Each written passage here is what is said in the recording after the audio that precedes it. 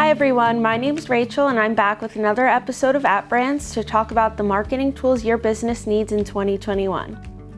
Over this past year, we have all had to transition to a new way of life and how we do things, especially with our careers. Many marketing tools were especially helpful in doing so. For me, one of the tools that made many aspects of my life easier was Google Suite, and especially Google Analytics. Google Analytics can be used to track almost everything you need to know about your site's current and future search rankings, optimization, and more. It uncovers demographics so you can really get to know who your audience is in order to be the most successful. It can also help you discover which networks send you the most traffic and how visitors are interacting with different aspects of your website. Best of all, it's free.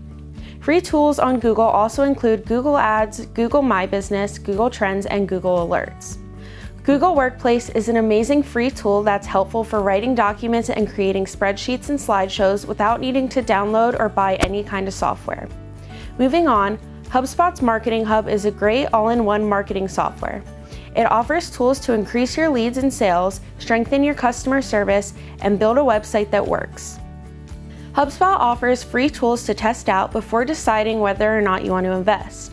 The free plan includes 2,000 emails per month on its email marketing tool. Few of the many things HubSpot has to offer for your business include live chat facilities, CRM tools, easy setup for pop-up forms, control blogs, social media, and create landing pages. And of course, it's important to know who you're targeting. HubSpot has a Make My Persona tool to create buyer personas for your company. According to an article on singlegrain.com, companies who use HubSpot typically spend $135 per lead as opposed to the industry average of $346 per lead.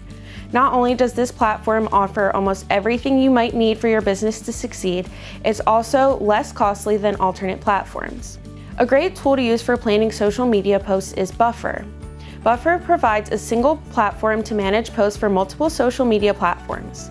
It also gives you analytics to measure your performance on each post. And best of all, Buffer has a free plan for a single user with up to three social accounts. If you want your social accounts to really stand out, try using a platform such as Canva.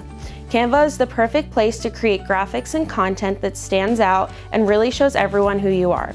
Aside from premium images, Canva is completely free. Another important aspect of digital marketing is SEO. Moz has a team of SEO experts and offers free tools such as Keyword Explorer, Link Explorer, free domain analysis, and more. This offers a great way to do competitor research and optimize your website to be at the top of the search page.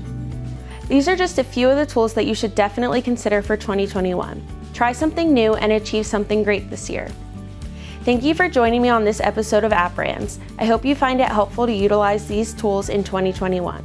As always, be sure to subscribe and follow us on YouTube for more videos with marketing tips, and check us out on our social media platforms such as Facebook and Instagram. Until next episode, stay safe and happy advertising.